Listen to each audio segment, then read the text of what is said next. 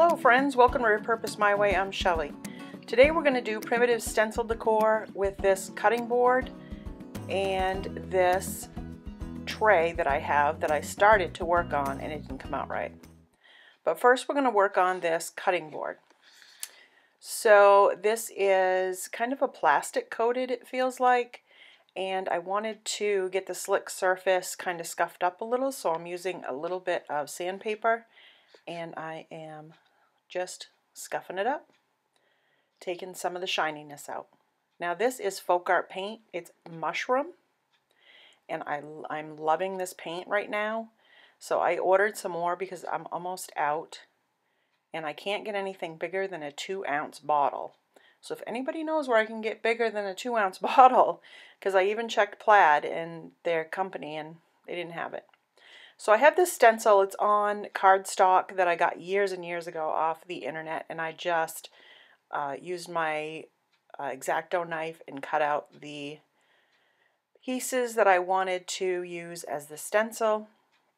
So this is a willow tree, it says live simply and then it's got the crow holding the star over the eye on live. I'm going to take a little bit of black folk art paint and dry brush, just lightly do a dry brush coat on this stencil.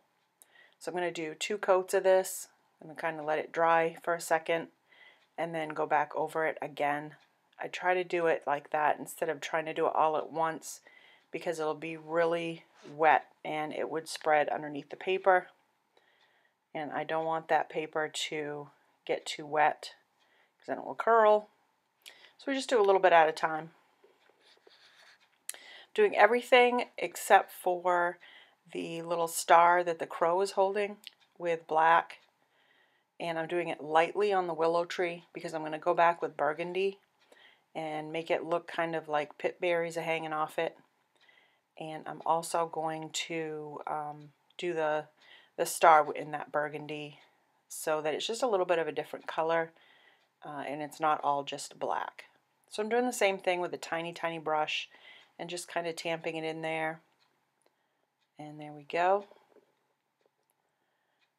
Just doing it again. And then I'm going around the willow tree. Like I said, I went lightly with the black, so now I'm going to go lightly over it with the burgundy so that it makes it just pop a little bit more. And there we go. There it is. And now I'm taking my paintbrush that I had the black on and I wiped it down as much as I could and then I'm dry brushing the black over the top, kind of going heavy around the edges, down at the bottom and the top. I will go around the whole thing or over the whole top of it, but I would like to uh, just keep the dark, darker parts of it around the edges the best I can. So this is how I'm distressing it instead of sanding it back and going back down to the cutting board picture that was originally underneath. So now I've taken, I've already done it, I've taken some matte clear spray paint and sealed it in and I painted the back of it black and sealed that as well.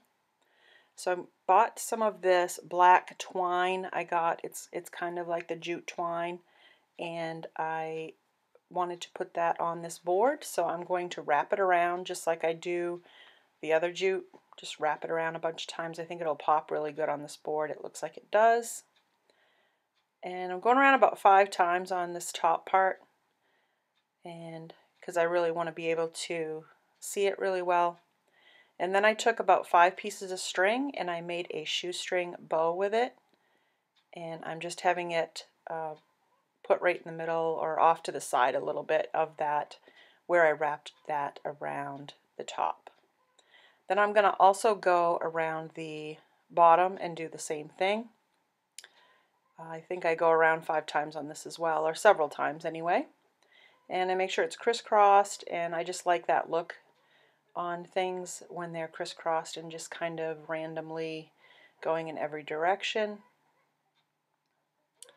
And gluing that in. And that part is done. Now I had a little um, star, rusty star, that was on uh, some pip berries that I had, so I just cut that off and I'm going to glue that in the middle of my uh, bow there. And that'll be it for this cute little primitive sign that I made.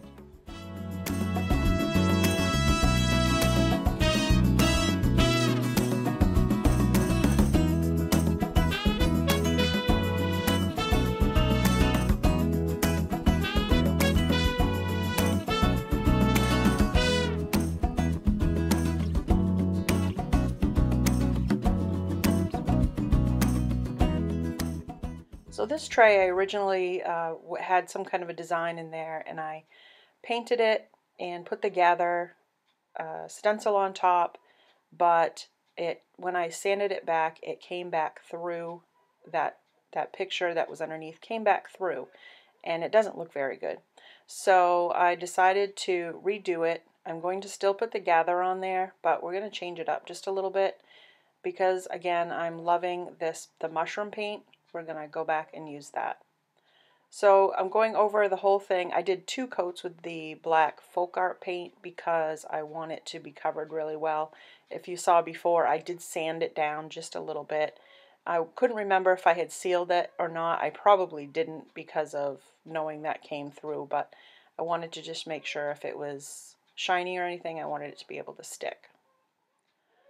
So I did two coats and now I'm going to place my gather stencil in the middle or somewhat in the middle if I can uh, get it straight. And I'm just going to tape that down so that as I am just uh, kind of tamping in with the paint on it that it doesn't move around on me. And then I just hold the edge. So this video is in collaboration for the Stencil It Up uh, collab. It is put on by CeeJ and the co-hosts are Krista and LaParsha and I will have their links to their channels down in the description below. There'll also be a playlist of other creators that will be joining in this uh, collaboration so please go down and make sure you check out the playlist and all the other creative channels. So once I did the one coat on the stencil, I hit it with the heat gun just for a second so that I could go in and get the second coat. And then I hit it with the heat gun again to uh, before I took the stencil off so that it wouldn't smudge or anything like that. And we're gonna oh yes and I did those I did those afterwards because I wasn't sure if I was going to do them a different color those little sprigs. But I actually ended up doing it in the same color and I like it so this came out really good. I really like it. You can't see the design underneath like you could before. And so now I'm just taking a dry brush of the mushroom paint and um, just distressing around the whole tray. I'm doing a little bit heavier around the edges and just going back and forth and just giving it some, I don't know, character and dimension. I think it looks nice. Then I'm taking my black uh, paintbrush that I had and I wiped that off a little bit and I'm just dry brushing black to distress the gather and the sprigs because I can't again take sandpaper to this because it will go back down to the original and I don't want that. So here's what it looks like.